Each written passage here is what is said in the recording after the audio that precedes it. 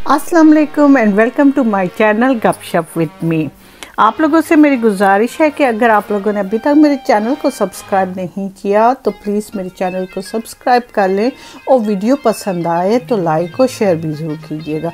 क्योंकि viewers likes बहुत कम हैं। व्यूज़ तो बहुत ज़्यादा आते हैं, लेकिन उस हिसाब से जो लाइक्स होते हैं, वो बहुत कम है, जिससे दिल टूट जाता है। प्लीज़ वीडियो को वॉच भी करें और उसे लाइक भी ज़रूर कीजिएगा।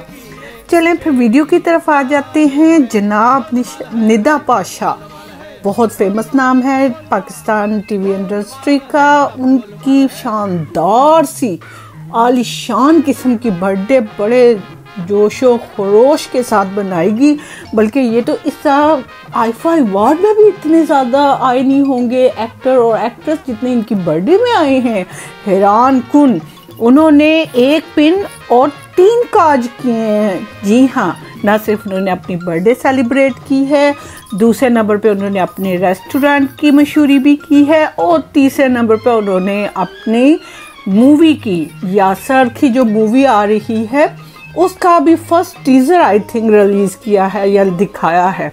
लेकिन माय गॉड क्या लोग आए हैं।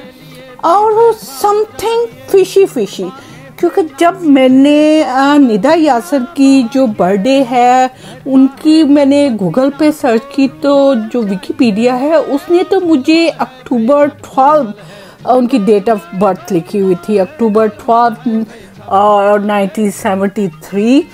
तो फिर उन्होंने जनवरी में कौन सी बर्थडे मनाई है? या फिर वो हर माँ अपनी सालगिरह मनाती हैं?